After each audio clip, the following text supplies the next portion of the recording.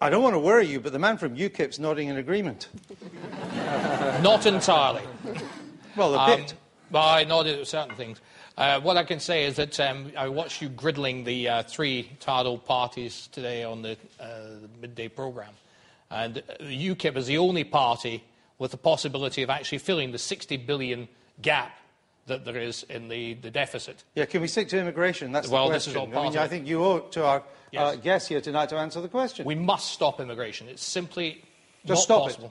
Absolutely. Altogether? Stop. Only in a... s- We have Nobody. Big, build a big wall around the country. No, but we, All right, we, we have to leave the European Union, and the, that's the only way of stopping unlimited immigration. Let me go straight to the gentleman behind you. Surely, with unlimited immigration from the, United, the European Union, the question should be is the European Union actually a luxury that we cannot longer afford? And how would you answer that question?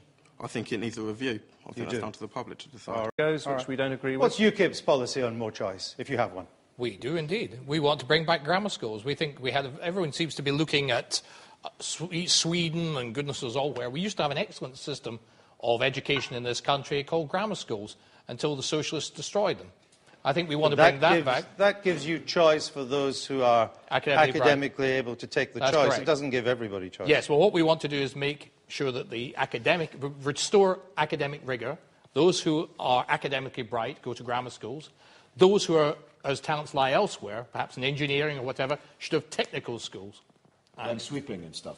No, I was thinking engineering, George. To find out more about who we are and what we stand for, go to the UK Independence Party website at www.ukip.org.